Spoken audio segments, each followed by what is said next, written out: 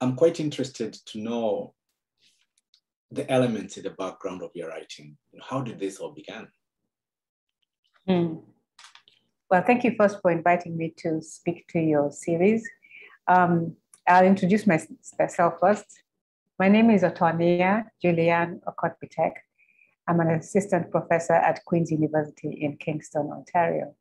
I'm also a poet, and I usually begin by introducing myself as a poet, um, which is to say that that's where I spend most of my intellectual work and artistic practice.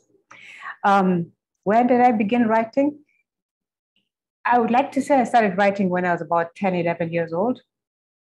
But if it's true that we begin to write when we begin to understand what stories are, I would say probably in the in my childhood, like many, many people, reading stories, being told stories, so that by the time I started to write as a girl, um, I didn't think of myself as a writer, but I thought of myself as someone who enjoyed writing. And my parents really supported me in that. So, um, and, and to think about how that kind of support gave me the confidence to continue writing. As a teenager, I didn't write very much. Um, also, in, a, uh, in my 20s, I didn't do very much writing, but I continued to write anyway.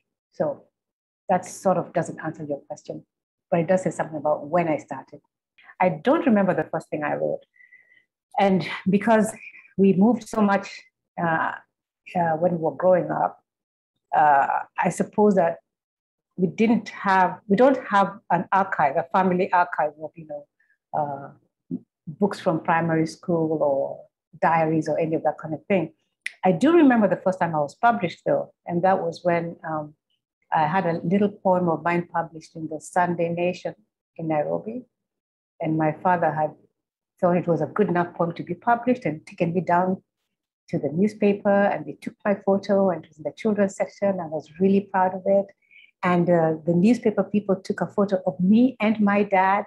Uh, and then he showed it off to his friends. So of course I remember that. Now I don't have any, I don't have the poem. I don't remember it, but I do remember that first publication.